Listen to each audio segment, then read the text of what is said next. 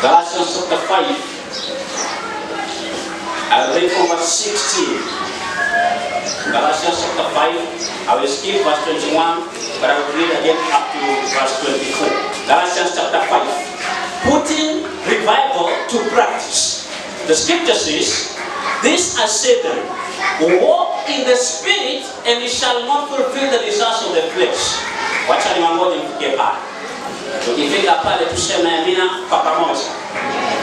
ambapo hawajafika? Tuangoje kidogo. Galatians is after 2 Corinthians before Ephesians.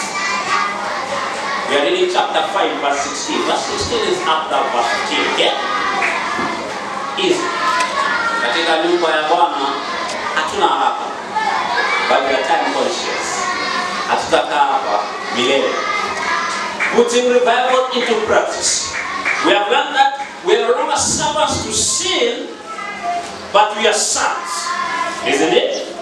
Na wale ambao ni wana wanaishi kulingana na mienendo ya Roho Mtakatifu.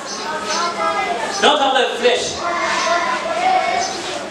This I say then, walk in the spirit, and ye shall not fulfill the desires of the lust of the flesh. For the lust of the flesh was against the spirit, and the spirit was against the lust of the flesh. And these two are contrary one to another, so that you do not do what you desire to do. Kuna ile vita ambayo huwa inapigwa miongoni mwetu. If we allow the Holy Spirit, we shall live by the Holy Spirit. And we have realized in the course of the week that the Holy Spirit is very divine, just like the Father and the Son. So if we are led of the Holy Spirit, if He leads us, He makes us sons. Our sonship, kukua kwetu wana, is by adoption. Sijui adoption tunaitaje kwa Kiswahili. Our sonship is by adoption. We are adopted into the kingdom.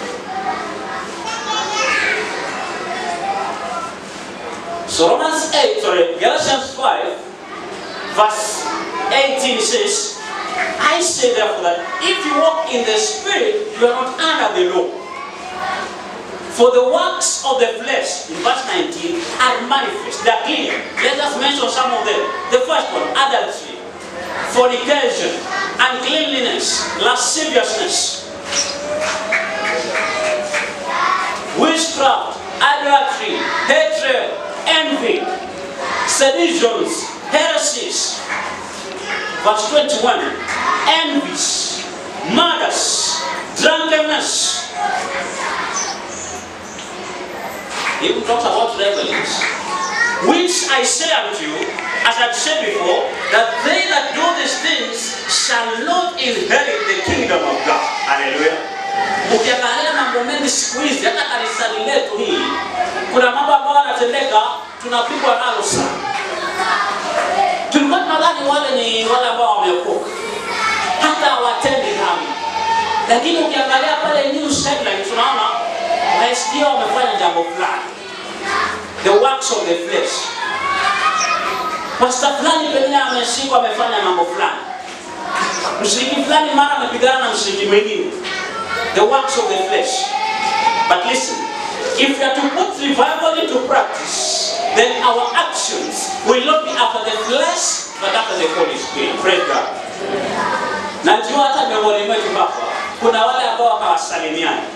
Unajua ni jirani wako kabisa, tangu tuingia hapa haujamsalimia, kwa sababu tumekuja kuomba tu, hatujakuja kujuana, si ndio? Hata tukitoka pale hatusalimia. Najua tuko katika enzi la corona, lakini imekuwa ni tabia yetu tu mara mingi. Wale ambao tunaongea nao ni wale ambao ni marafiki zetu tu, wale ambao pengine tunawaona tuko mbali, hatushughuliki nao. But listen, if we are revived after the Holy Spirit, then we shall put to practice the aspects of revival. Praise God. And the greatest aspect, as we learn, is love in action. Hallelujah.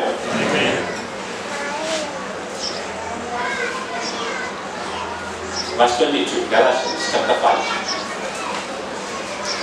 It says, the fruit, not fruits. It's a package. Inakuja kwa pamoja pale. Huwezi tenganisha. But the fruit of the spirit, we have looked at the works of the flesh.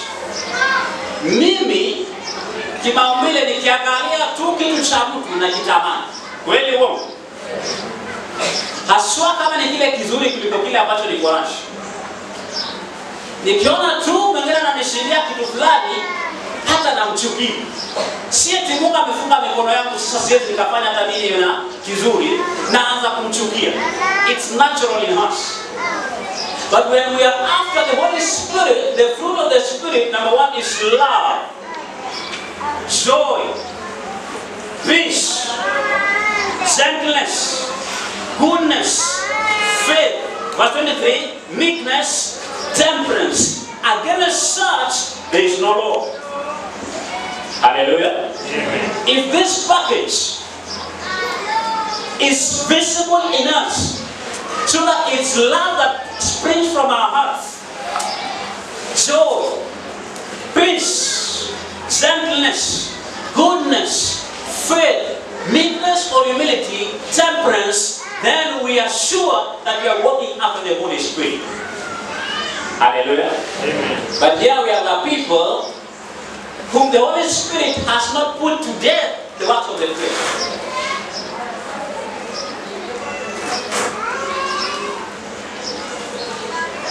Verse 24 says, And they that are Christ, wale ambao ni wake Kristo mwenyewe, they have crucified flesh with its lusts and affections. Hallelujah. Amen. Crucifixion is the most difficult thing. Until we get to the cross and put to death idolatry, witchcraft, hatred, envy, fornication, uncleanliness, murders, and. Until that happens by the help of the Holy Spirit, we are just like professors of religion. We are just like servants. I want to ask for a confession. Chill out. Because with the presence of the Holy Spirit, we will not by faith allow God to give us the promise, then we allow the promise to return. Hallelujah. Si vyema mtu akikupatia ahadi halafu anakuletea kile ambacho amekuahidi, halafu namwambia sikitaka. It's a mockery, isn't it? Do you know that when we mock God, it's uh, the same Galatians, just flip to the next chapter. And that's why we're chapter again, chapter 6, verse 7. It says, Be not deceived, for God is not mocked. Whatsoever man sows, that shall he also reap. He that sows with flesh shall of the flesh reap corruption. But he that sows the Spirit shall of the Spirit reap life eternal. Hallelujah. Hatuwezi kumdhihaki Mungu anapotupatia Roho Mtakatifu halafu tunasema yenyewe tutaingia pale. We cannot mock God and expect to get eternal life. To fail to accept the gift of God is to mock. And we may not verbalize our rejection. Twaweza kataa si kwa, si kwa kusema kwa mdomo wetu, lakini kwa matendo yetu tunakataa.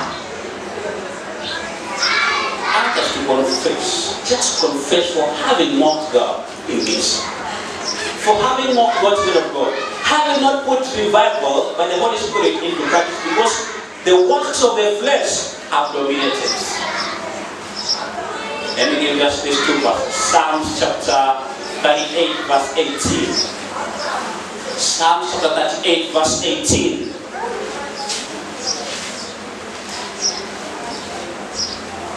Psalms chapter 38, Psalms very easy to find. A joke there.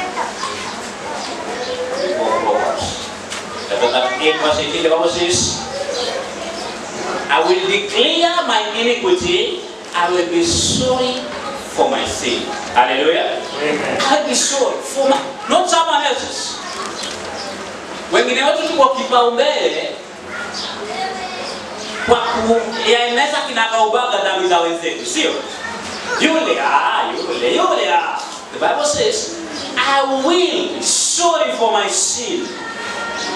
I will declare mine, not someone else. I will declare.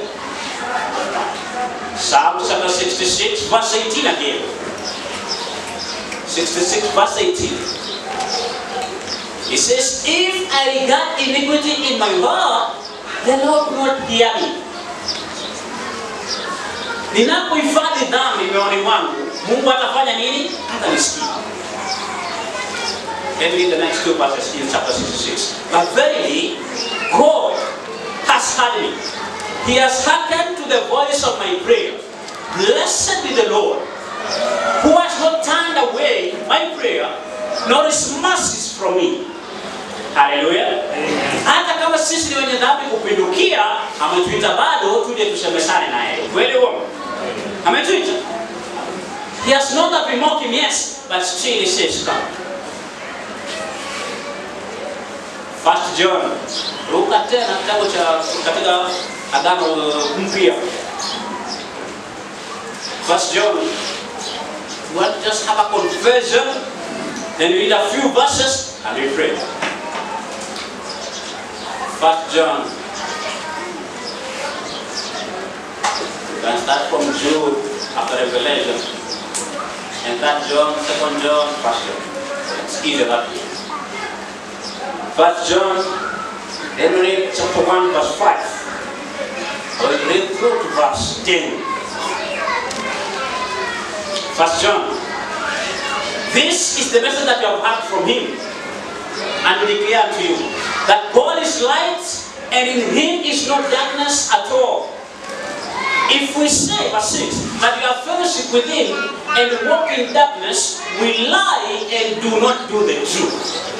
Haleluya. Ya kwamba Mungu hatuwezi tukamweka pamoja ama tukamlinganisha na uongo ama na giza. If we say that we have fellowship with him and walk not in the truth, we lie. We lie. Verse 7. But if we walk in the light,